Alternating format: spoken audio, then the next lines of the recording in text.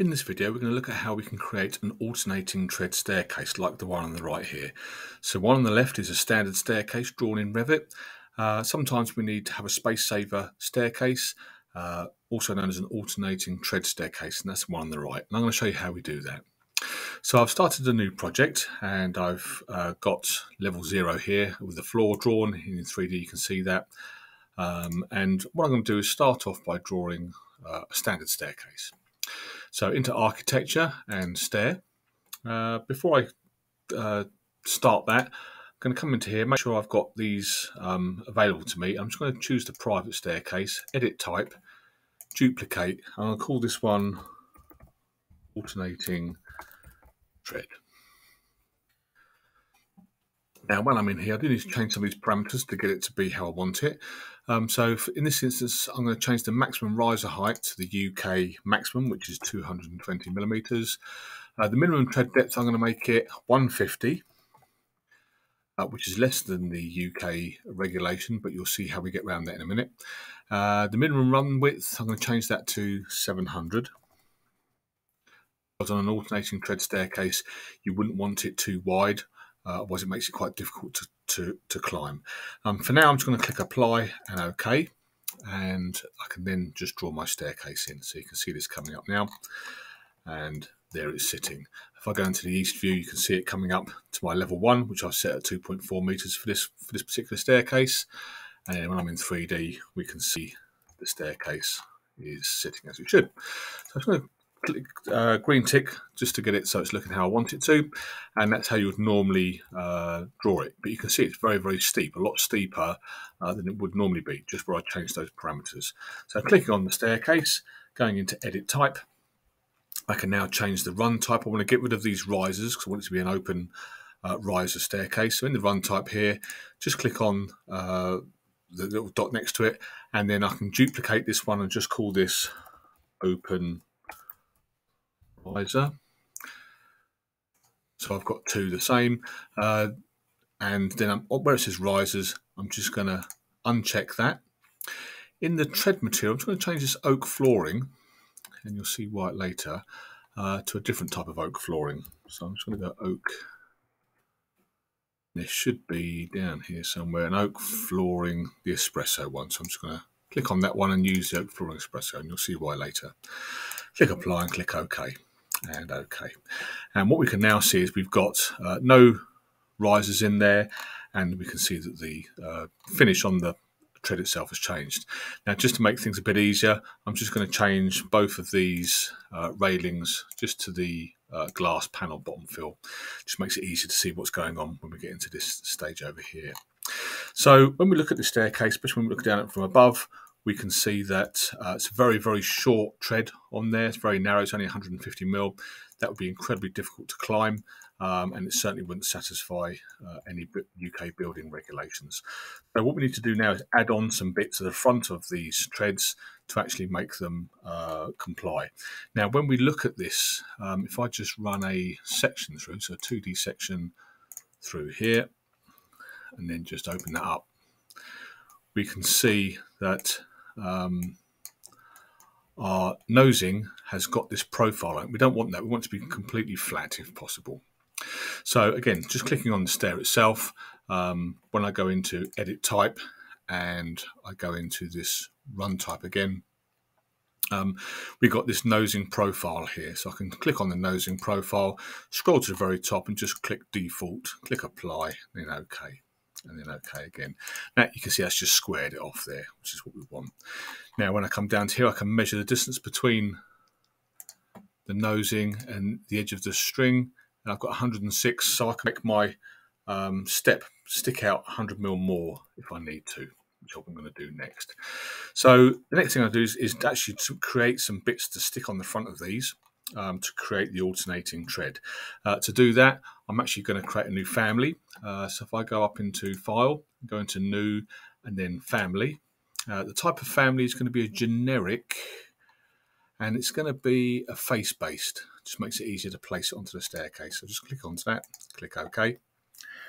And if I open up the front, I can now start drawing the shape that I want it to be. So uh, this is going to be an extrusion and I'm just going to use the straight line tool for now. And I'm going to come across here about 500 mil, um, which is about right. And then I'm going to come up that 100 mil, which was the max, maximum amount it can stick out. Um, once I've done that, I can then come along about 300, maybe just a bit less, 280, something like that. I'm then going to change to the spline tool, which is this one up here. Uh, come across a bit further, just left click there, come down, bring it down to about here somewhere, and then finish up on the end here. That now gives me that nice curve. Um, if I want to alter it at all, just click on the curve, and then I can bring things around, I can drag things in, make it a bit more curved if I want to. And then once I've done that, um, I want to uh, go into the reference level again, back into here. Uh, just click the green tick to finish extrusion. And then when I click on this, I want to change the thickness of that from 250 just down to 50 mil. The reason it's 50 mil because that's the thickness of the treads on the existing staircase. And then we can see we've now got this. Once I've done that, I can now want to uh, load it into the project and close it. It'll ask me to save. Uh, just save into that one for now. Uh, do you want to save change families? Yes, I do. Uh, just in case I need this somewhere else. And then what I'm going to do, I'm just going to save it to my desktop for now, and we'll call this stair nosing. I'm going to call this stair nosing 2 because I've already done one previously. So now I'm back into here. When I'm in my 3D, I can change how I'm going to place it, either place on the work plane or place on face. Make sure place on face is selected. And I can then use my space bar key find the model again, there it is. And I can just use the spacebar key just to keep rotating it around and I want to snap it into position onto there. The other thing I forgot to do, can you see we've got a different color here? So if I double click on this, uh, click on that, and then where it says material by category, just go back into here and I'm going to choose that same oak flooring.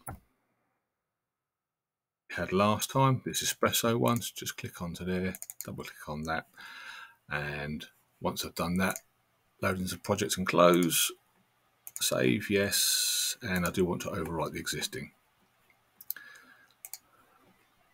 So now we can see it's the same. Um, so now when I'm into here, you'll find that in architecture and in component. You can see my stair nosing twos there. And um, what I'm going to do, just going to orientate this so I've got it uh, in this plane so I can actually see this corner a bit easier than every other tread. I'm just going to place it in that corner all the way up. Just every other tread. Then when I come back down this side, I can now use the spacebar key just to spin over. Then again, every other tread.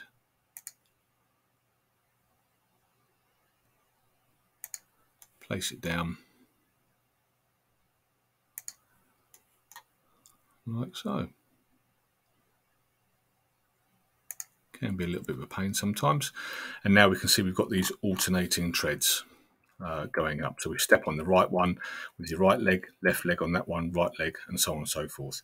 Um, looking at this now, as I look at it, you can see I've got quite a bit of a space in between here, so I could probably have made this um, one a bit longer. I could go back in and change it and make the whole thing a bit longer just so they're a bit narrower together. Um, sometimes when you come into here, depending on what you've got switched on, uh, so here I've got my, I had my thin line switched on, now I don't. Um, so when I when I click on uh, move into here, can you see we've got these lines that I don't particularly want? Uh, so to do to get rid of those, go into modify, um, use this one here, this line work tool. So click onto that, and then we've got these line styles that I can choose. Um, I'm going to want invisible lines. So if I click on invisible lines, you can see I can now select that line, it gets rid of it. Select that line, it gets rid of it. All the way up.